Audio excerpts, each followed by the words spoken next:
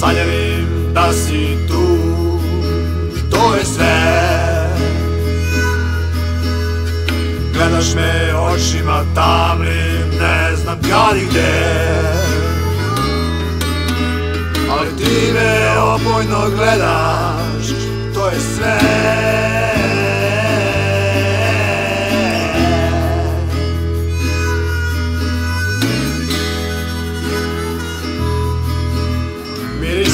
Mirisao noća slohnete, potom se probudi. Ne znam kako, zašto, kad i gde.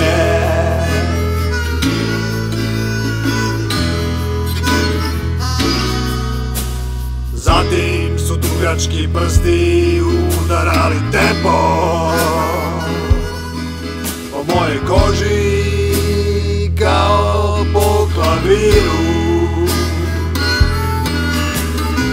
Spisah ovu pesmu na ustama tvoji. Kao po papiru.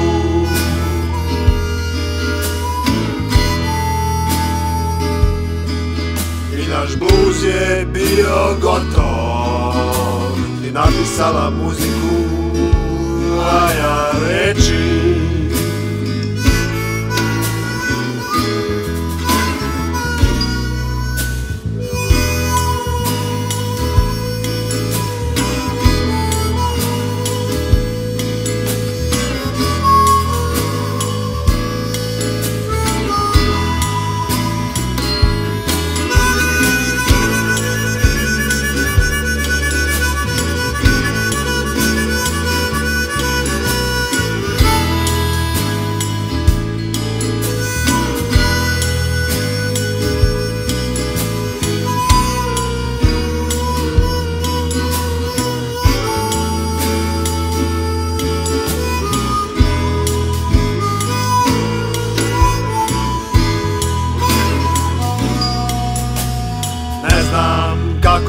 zašto, kad i gde? Ali tu si u mojim šakama, to je sve. Ne znam kako, zašto, kad i gde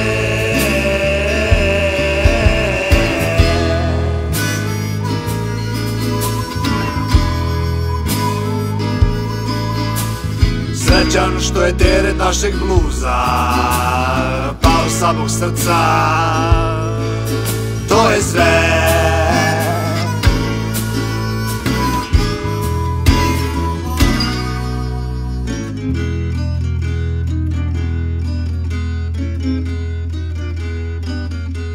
thank